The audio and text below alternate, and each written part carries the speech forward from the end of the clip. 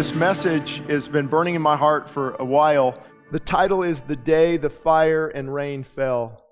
And I mean the good fire for a believer. A good fire consumes, it purifies.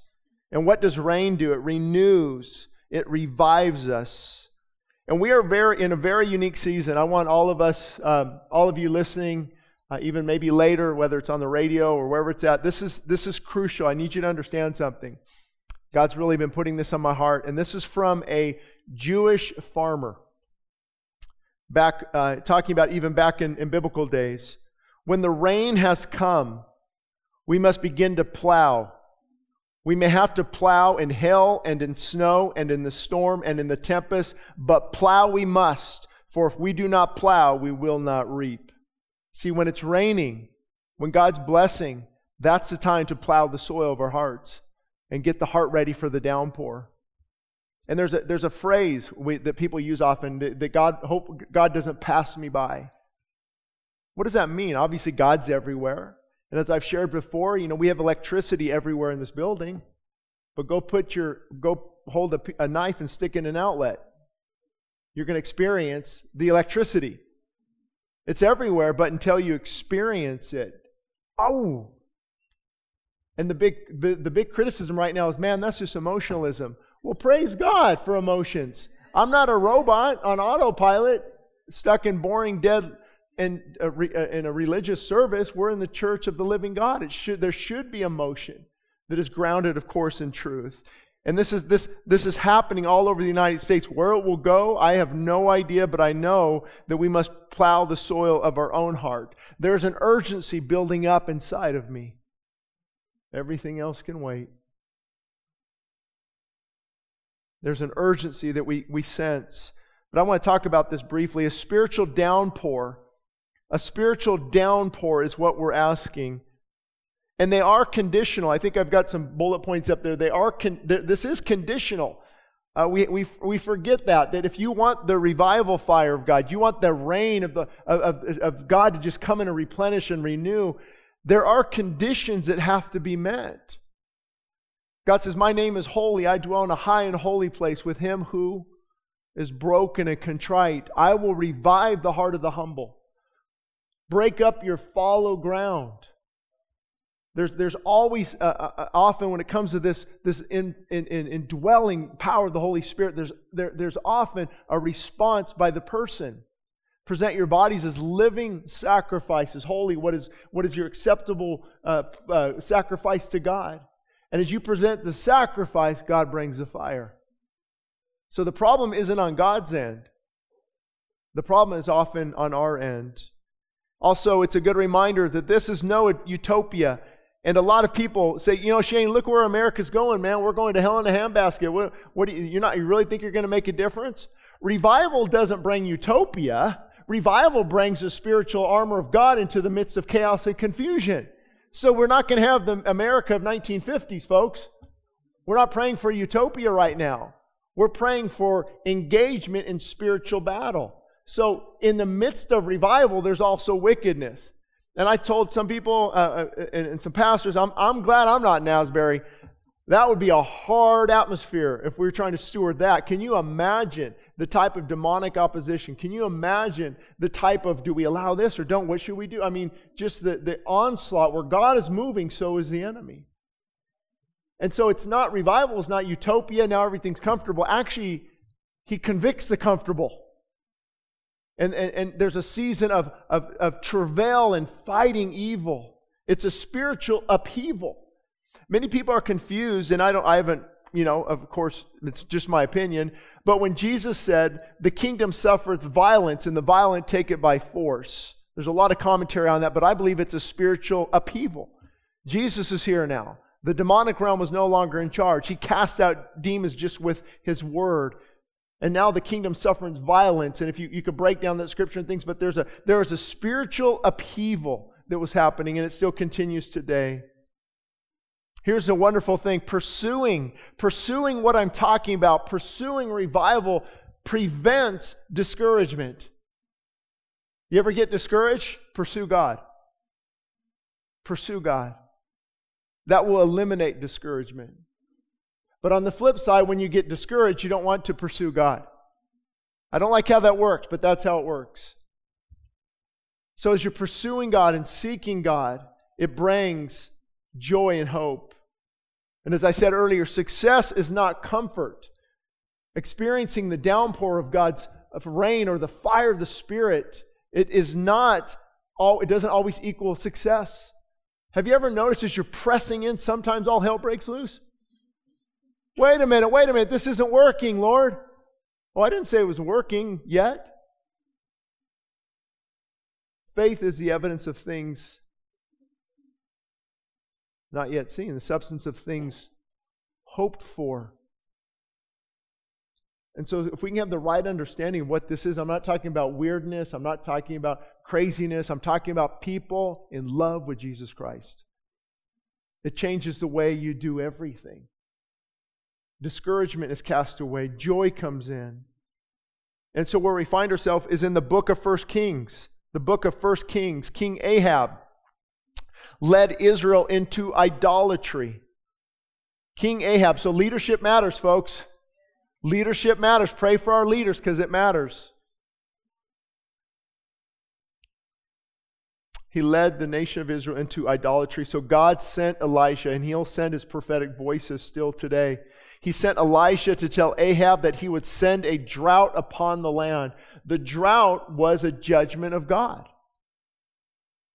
When I bring pestilence, when I bring famine, when I bring drought, if my people humble themselves and seek my face, so instead of embracing God's wake up call, Ahab continued to engage in idolatry. Isn't that funny? Instead of a wake up call, understanding, Lord, this is serious, and, and turning to Him, sometimes we dig our feet in even more. In the same way, what's it going to take to wake us up? God often uses calamity to wake us up. I did a quick search, and I think there's something like 40 mass shootings since I've been gone. Four people or more? I'm like, no, that can't be right. And wouldn't you know it?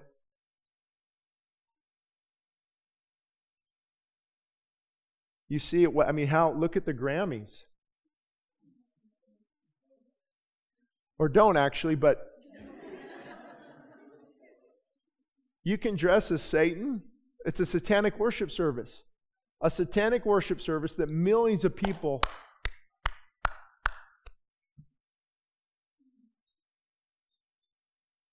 legislation where if I don't call a boy a boy but a girl because that's his preferred pronoun, I could go to jail? Folks, what's it going to take to wake us up? If you just look at the news, that would you would if you just look at the news and look what's going on and look at where our children are going to be exposed to, you would say, Pastor Shane, Pastor Abram, open the church every day. There's a hunger, there's a desire for it. Is there a hunger? Is there a desire for more of God? And if you say, I don't have it, all you have to do is repent and say, Lord, I need it. Give me the fire of the Spirit. I want that, I want that day that the fire and the rain fell to be today. After three years of devastating drought, Ahab blamed who? Calling him, you troubler of, a, of Israel. And I'm often called, you troubler of America. That loud guy better shut his mouth. You're, you're causing all this problem. You're the church is the problem. Get rid of the truth so we can enjoy our sin. And here's the key those speaking the truth are often called troublemakers.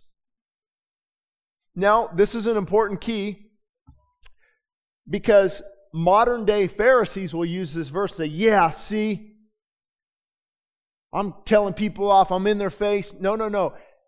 It has to come from a humble, gentle, broken spirit. The angry prophet has to be just as loving. Correct? And I would say I've been transparent. That's the hardest balance I'm trying to find.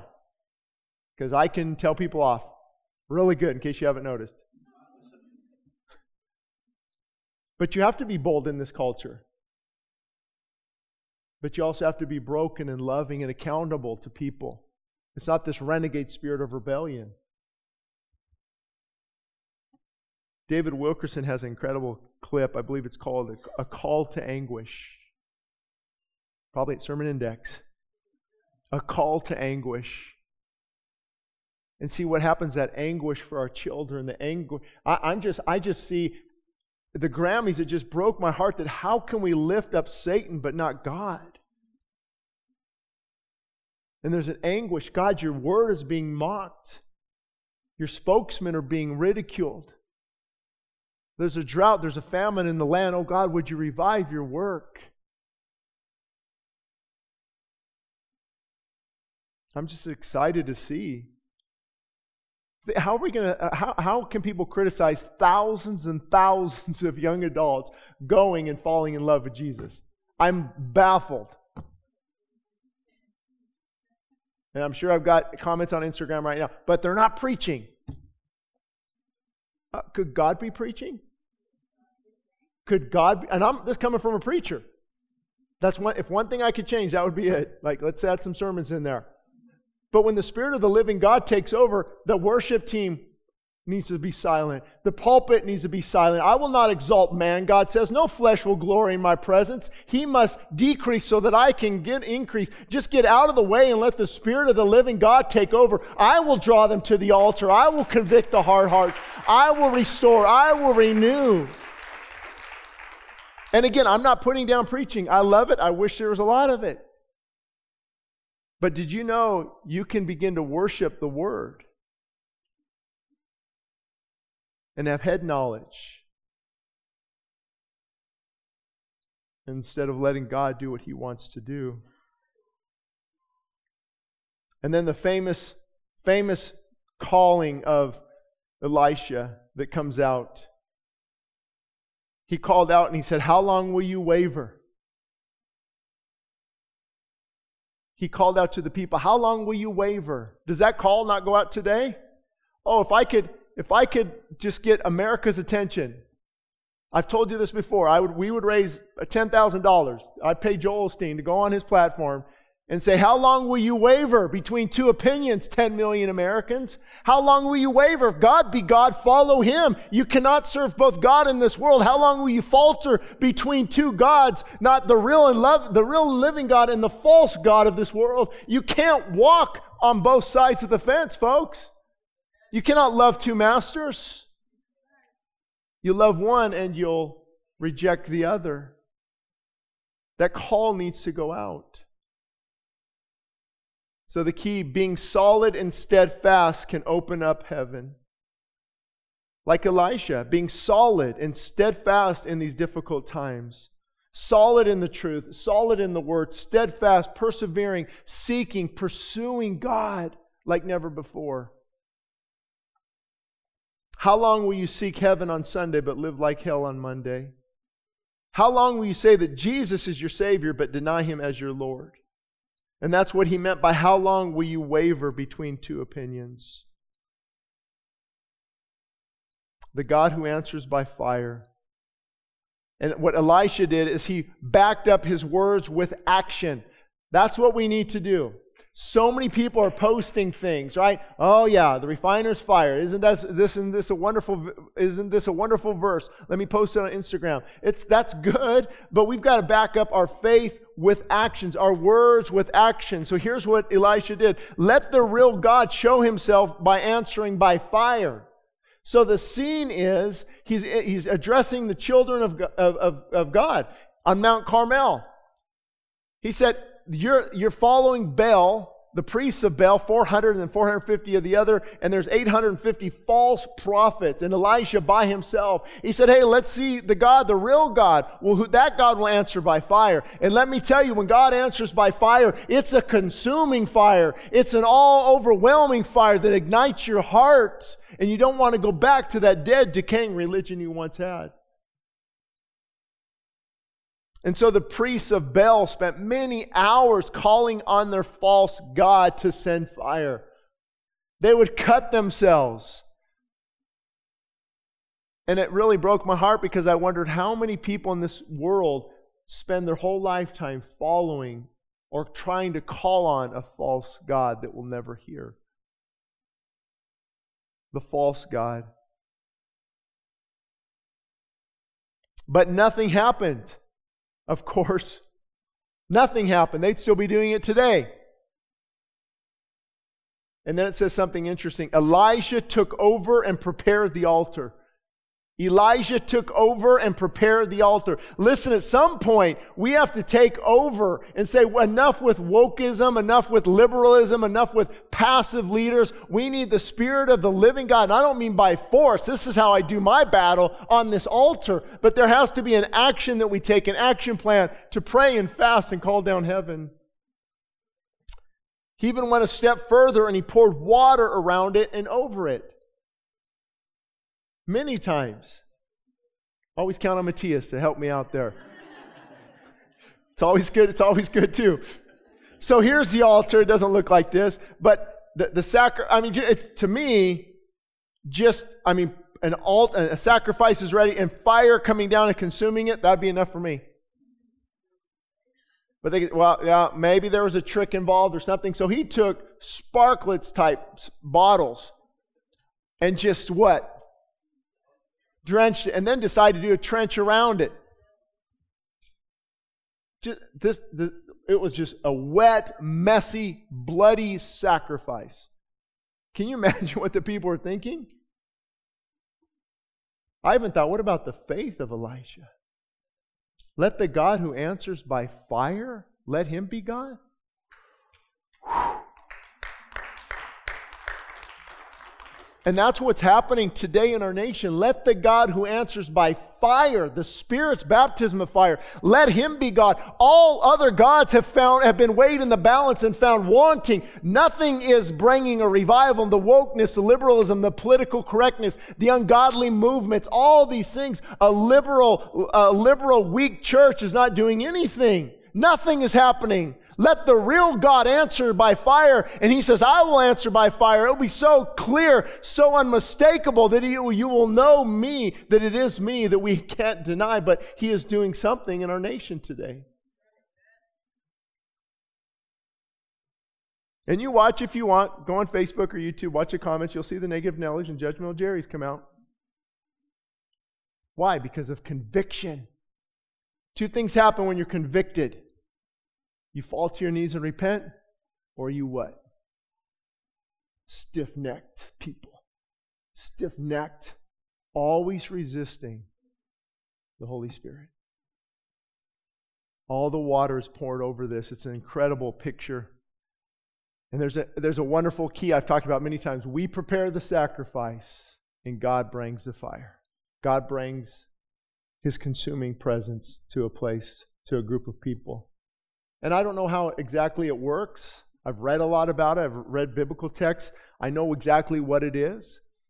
I know God's everywhere, but sometimes, sometimes He will visit a group of people and His manifest presence. It's okay to say that's biblical.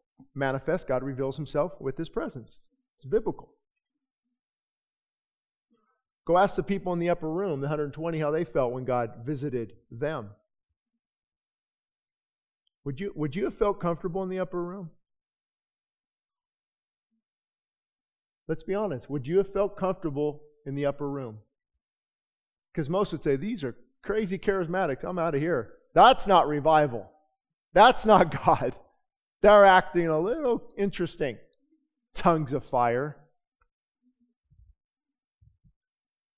John the Baptist said he will baptize you in the Holy Spirit and with fire. See, all of this is thoroughly biblical. Now, it gets a little uncomfortable when you call out the lukewarm church or the modern day Pharisee. They don't like that because now you're challenging their spirituality. The lukewarm person doesn't like to be challenged because they want, leave me alone. Leave me alone in my sin. True story, verified it. I was in Bishop they said, Shane, you've got to pray for this guy. He doesn't want to be here. He's trying to get out the back door. It's, it's Saturday.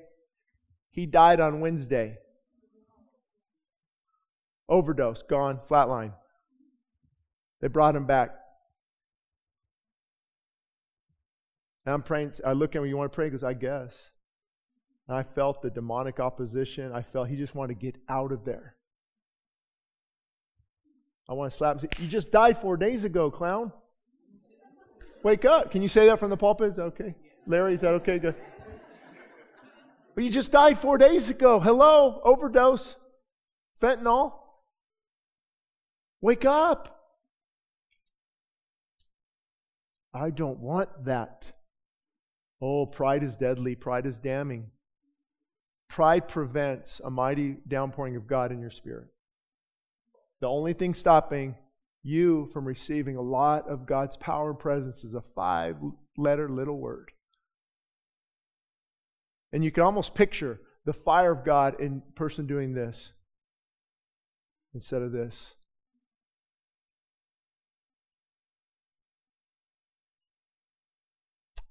And when I received that fire, I didn't become weird. I became bold for Jesus. Somebody I don't even want to talk about, really. I mean, if you ask me, I'm Christian, I guess, whatever, leave me alone. I've got an image to uphold. But when the fire comes, its byproduct is boldness. And now you might look a little weird on the altar. You know, if you're here for an you're at the altar for an hour, what in the world do you do up there? It's not what I do, it's what God does in my heart. You can watch a three hour Super Bowl, but you can't worship for three hours. What's the difference? Oh, I came here to step on toes. We need to step on toes. Remember what I often say when you step on toes, you move your foot. You pray to God to answer by fire. I'd have loved to have been there. Can you imagine? I mean, the Bible doesn't record, record exactly, but Elisha just God answered by fire. Then the fire of the Lord fell and consumed the burnt sacrifice, the wood and the stones and the dust, and it licked up the water that was in the trench. See, here's the thing when God's fire falls, everything is consumed. Everything is consumed. When God's fire falls, it challenges, it changes, it transforms. And so that was my encouragement this morning. The fire of God's presence can become a reality in your life. Think about what I just said the fire of his presence. And fire, of course, not literal, it's a metaphorical word that God uses, like, you know, the psalmist would say that, that, that tears, fountains of water would come out of my eyes, or they would use strong language. And so the fire of God it's an all-consuming fire, and it become a reality in your life. So now you're, that's what they say. Have you heard the phrase, I'm on fire for God? I, I want to go home tonight. I want to watch something that's edifying. I want to put on worship music. I want to read a good book. I want to get, now I get up in the morning. I look at the clock and I, I'm ready to get up. I want to start pursuing God because I'm on fire for God. I want to get into His Word. I want to pray. I want to, I want to, uh, worship sounds great and, and I'm on fire for God. Everything's going great. And then the kids get up.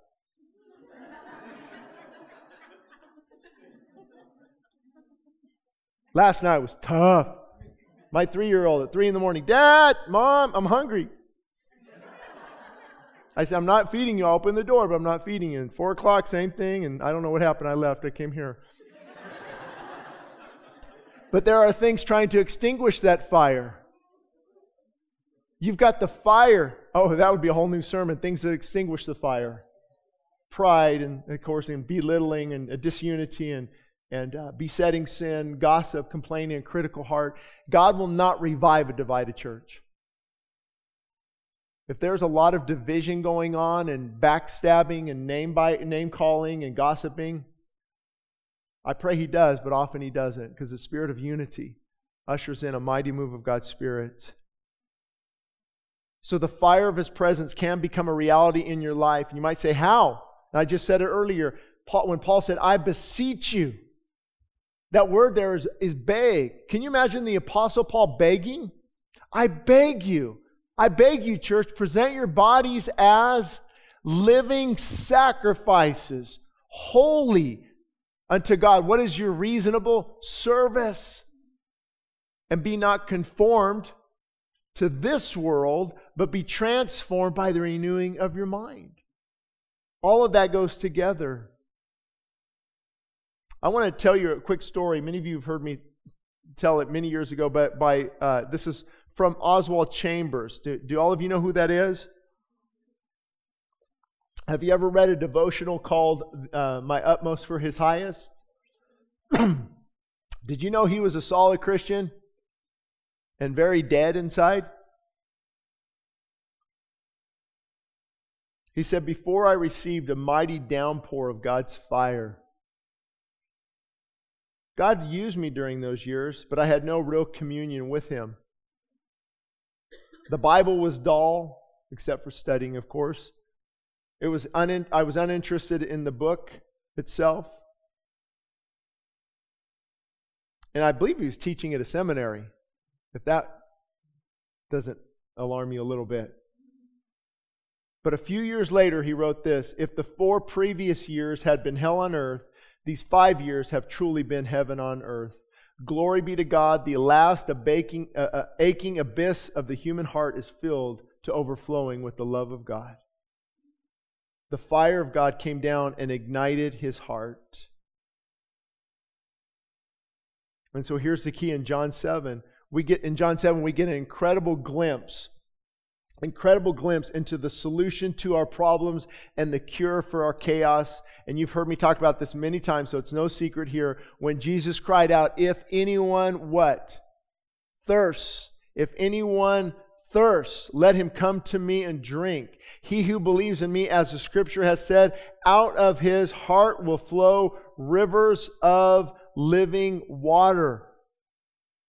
Isn't that interesting? If anyone thirsts, well, physically, we know when we're thirsty and when we're not. But spiritually, it is, isn't necessarily, you know, man, I'm really thirsty. I need some water. It's realizing that you don't have the water you need. I'm, Lord, I'm thirsty for that. I don't have it, but I need it. Would you help me get it? Lord, I'm thirsty, and as a deer pants for the, for the brook, oh, my soul pants for thee. I can't wait to preach on that in Psalms. As a deer, it's, pan- it's looking, if I don't find that water brook, I'm not going to make it. And the deer is, is looking, he gets to that water brook, everything, nothing else matters. A water brook is a nice little stream. I don't know if you, and he just, that cold, fresh water. Oh, as a deer does that, Lord, would you let my soul long after you? I don't feel it right now. I'm dead, I'm barren, but God, I don't want to leave here until I lay hold of God. And when you lay hold of God, folks, never, never let go. If anyone thirsts, He's really asking if you have a desire and you're spiritually dead, let him come to me, Jesus said, and drink. He who believes in me, as the scripture has said, you got to have the right God, the only God. You can't just believe in, well, I think God's everywhere and I'm going to embrace this new age movement and God is love and oh, you won't, you won't experience, you might have a feeling, but you won't experience the rivers of living water this living water that comes in and gushes into your heart, into your soul. It changes everything. Everything is changed. Can you imagine dead to the things of God, now alive to the things of God? Can you imagine how that would change things? Do you know just 15 minutes from here, there was something called the St. Francis Dam? There's a road named after the area, San Francisco. One of the worst accidents in American history 100 years ago, that dam broke. That water made it to Ventura. 450 to 600 people, a lot of immigrants uh, weren't recorded. That water consumed and took out everything in its path. 10 ton boulders, everything was devoured when that dam broke. What a picture. Those who hunger and thirst for God to break the dam in their own heart.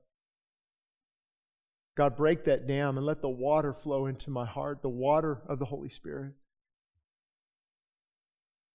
And I don't want to get too off on this because I, I, I, could I want to be gentle. It's hard sometimes because you just want to say what you want to say, right?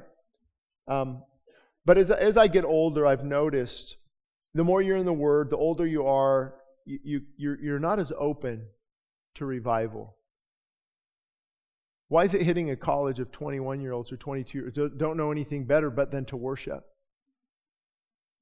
But then a lot of sometimes the older crowd, you know, they've, they've got Bible knowledge, but their heart's not aflame. If they're not careful, they'll put out the flame in the younger generation. And we see that often. Richard Andrew, who will be here Wednesday, I, I would encourage everyone to be here Wednesday, no matter what is on your schedule. Rearrange it. Be here Wednesday at 6. He wrote some songs recently based on sermons he's heard here. He said, There is a kingdom coming down. There is a remnant that won't bow down. They wait for revival to come. We will linger, we will wait, we will soar on wings like eagles. We will renew our strength. To those who hunger and all who thirst, you will be filled if you seek his kingdom first. There is a seeking, there's a pursuing. The day the fire fell, it can, fi- it can fall in your own life as well. If we truly want to hear from God, though, we need to approach this topic from a position of faith. Without faith, it's impossible to please God. He truly rewards those who diligently pursue Him.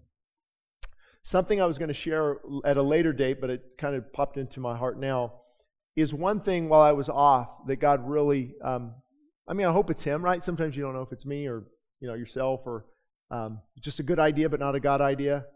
Let me tell you about all my good ideas that were not God ideas, okay? So I, have learned not to trust Shane Idleman, but um, without, you know, God, the Spirit of God, of course. But just realizing, because I think many of us, uh, this being a truth church, we love the truth, we preach the truth, a seeking church, a fasting church. At some point, God says, okay, the soil's ready, now just have faith. And I was convicted a little bit of, okay, Shane, you settle down. You've done enough. We, we heard, we've, I've heard, seen your six fast, fast, fast. We, we've seen how you pursue. Let, let now have faith. Because I, I did forget about that. For, I mean, of course, we know about faith, but I forgot how important faith is, even in regard to revival. Because you can, because then it's like, I'm doing all this, I'm doing all this, but see, then that's not right because it's a sovereign act of God. You plow the soil, but then you have faith that God's going to deliver. Because then I'm trusting in my work. I did this, come on. Instead of having faith that God will honor his word. And God knows exactly what we need. I mean, I watch him like 24 hours a day, I would lose my mind. We had church for two weeks straight every night. I don't know if you remember that, but we had laundry piled up, dirty dishes. I was my my. I, we're just this. Whoa, this is a lot. We got to get man, Lord. And so I can see, but God knows exactly. Give us a measure of revival in our bondage. But I realize without faith, it's impossible to please God. Diligent faith means unwavering belief, even when we don't feel like it or see the results. But did you know there is an immediate result with faith? You can. There's an internal witness. As soon as I exercise faith, I'm built up spiritually. So although I might not see it, although I might not hear it, although it might, might look like all hell is breaking loose, correct? Doesn't it? You say, Lord, we're in California, in Los Angeles County. Where in the world are you? The Grammys was one hour away. I don't want any of that, that dust flying this way.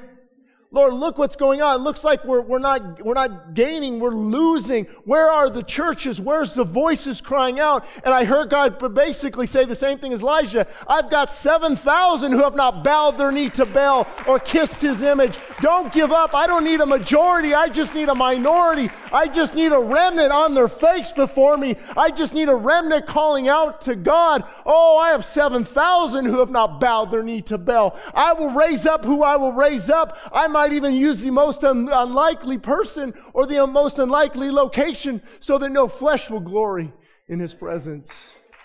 Faith, faith, faith, faith, faith. Do not let what you see make you forget what God said. Anybody need to hear that for their kids today? Do not let what you see make you forget what God said. Then Elijah said to Ahab, Elijah, after the, I mean, this would took a while to go verse by verse, but bottom line, the, the fire fell. Obviously, the true God spoke. And the prophets of Baal, it was not a good ending for them. They were executed. It's interesting. Elijah prepared the the sacrifice, the fire fell. He called the people to no longer waver between two opinions. And then he told Ahab, Go up and eat and drink, for there is a sound of an abundance of rain. Wait, it hasn't rained for what, three and a half years? Uh, by the way, what is a sound of a, of a, what are you talking about? There's a sound of an abundance of rain. Was that faith? There's not a cloud in the sky. He prepared the sacrifice, the fire came. Now, he's, now I'm exercising faith. Now it's time for the rain. Now my faith is engaged. And so Elisha went up to the top of Mount Carmel. Then he bowed down to the ground. He put his face between his knees and he said to his servant, Okay, go look now. Go look to the, toward the sea and tell me all the clouds that are coming in. So he went and he looked and he said, There is nothing. Nothing. Wait a minute. I told the king it's going to rain. I have faith it's going to rain. Go what do you mean there's nothing? You ever hear that? Does the devil ever taunt you or just me? See, it was pointless. It was fruitless. It will come to nothing. There's nothing happening right now. But I see it. I hear the abundance of rain. I hear the prodigal sons coming home. I see the marriages being restored. I see revival hitting our landscape. I see revival changing Sacramento and Washington. You can call me a holy roller. You can call me extreme, but just don't call me lukewarm and someone who doesn't passionately pursue Christ. There is nothing. There is nothing. Some of you, you know what? I, uh, some of you are Eeyores. I even wrote it down at four this morning and looked Google, the spell checked it. I'm looking over this, and I don't know why Eeyore of all. You know who you? Oh, Winnie the Pooh. Oh, man, is is that not true? Gloomy, depressed. Well, I mean, nothing. No, he, he, he was there to mock Winnie the Pooh. I don't know how this turned into my. I've never put Winnie the Pooh in my sermon. But think about that's what that's what's happening. Oh, I don't know. I don't know if that's God. We're going to hell in a handbasket. Haven't you read Revelation? Everything. Look what Biden's doing. Look at the gas prices. Look at Eeyore. I want to give you a guess a real physical if I had enough time, I would have ordered like 400 of those and passed them out today. Because, folks, that's what's happening gloomy, pessimistic. Guess what? It happens to me too. So he went up and he looked. He said, There's nothing. And seven times he said, Go again, go again, go again, go again. Seven times. There's something about seven. It's a number of completion, it's a number of perfection. Go around the city, Joshua, seven times. And he said, wait a minute, on the seventh, wait a minute, there's a there's a cloud about that big. And you know what? I thought that's all I need. That's all I need, God. I don't need to see the abundance. I just need to see that hand. I can because I can hear the sound of revival. I hear the chains falling. I see the demonic opposition being broken. I hear marriages being restored and prodigal sons coming home. I, I, just need a little bit. God, give me a little bit. Give me a measure of revival in our bondage. Lord, just show me something. I, I don't care if it's in Kentucky or Ohio or the state of California. God, show us something. We need to see that. I can see it on the horizon. And now I hear the abundance of rain. When the rain pours and the rain comes down, it is unmistakable. It is a sound, it's a thundering. I hear the abundance of rain. There's a faith that jumps up inside of you. Don't let the false name it and claim it prophets discourage you from embracing faith. They did that happened to me. You know, the name it, claim it, false prophets, all about faith, all about faith. If we're not careful, like I went through a season and said, Yeah, I'm not gonna, I'm gonna have nothing to do with faith. It's all work, work, work, work, work. But the Bible has a lot to say about faith. Without faith, it's impossible to please God. By faith, Noah built an ark. He was divinely warned in a dream. Noah, by faith, moved, moved promptly to the building of an ark and the saving of his family. Abram moved by faith to a place that God said, I will show you. David said, Who is this uncircumcised Philistine who defies the armies of the living God? I just need a rock and a slingshot. Joshua came back with Caleb, said, We are well able to take this land.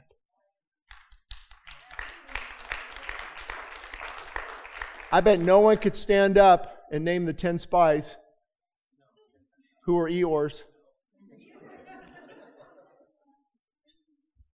Can you imagine? I would love to see. Can you imagine? No, no, no. We're well able to take this land. We're well able. Guys, we can take it. Why? Because God said, if God be for you, who can be against you? When you go out in the power and presence of Christ and you call down the anointing of God and you say, give us the fire, give us the rain of revival, we will stand here. We will hold the line in the school districts. We will hold the line in political areas. We will hold the line by the truth of God's word. We will wake up the woke and contend for absolute truth and postmodern culture. God says, now I can fight on, that, on their behalf.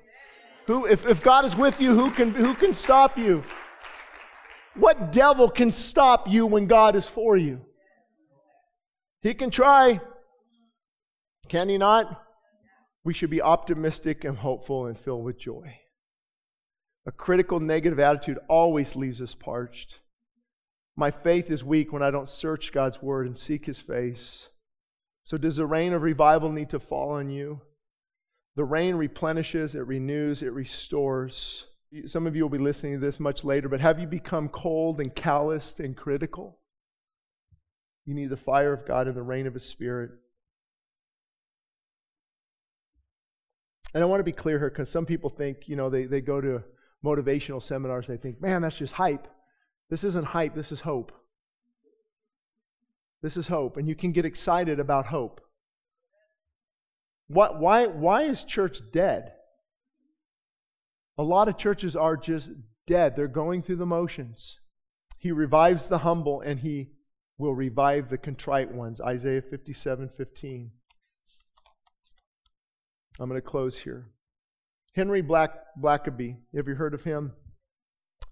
He said, Utter brokenness in God's holy presence is a prerequisite to any mighty move of God in revival.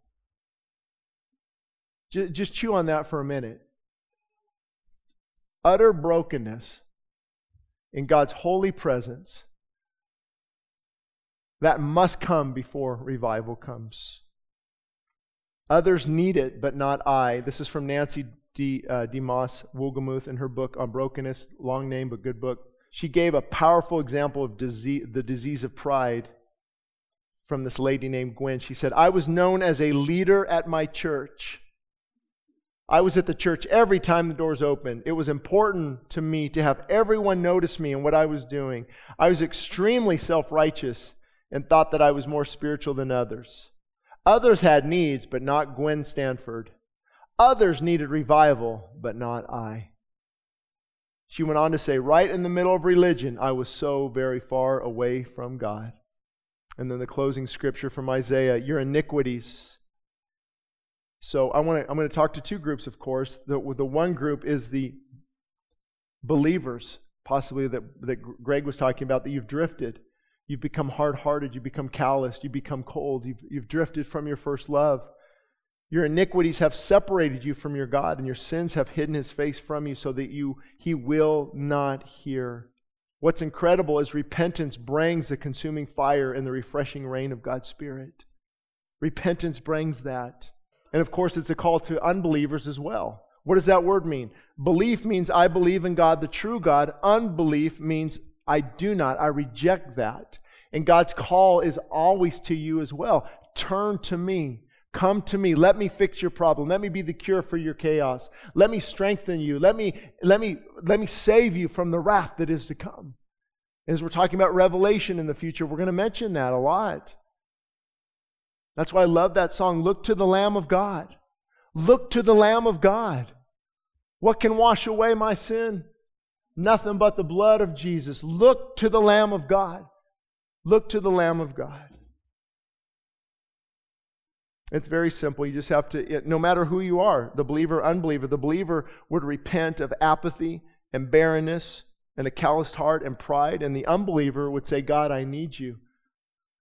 I repent of my unbelief. I repent of my sin. I repent of rejecting the Savior. I might have head knowledge.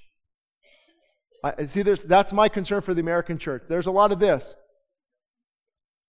Oh, they, they can tell you all about Jesus, but they've never been they've never repented and cried out. Why? Because they're prideful. And you need to change that this morning if that's you. This time I want you to have that a view of that, that text up on the screen with a renewed zeal for God, a renewed passion for revival. Look to the Lamb for revival. Some of you, you need to be revived. You need to be re, re, re, rejuvenated, replenished.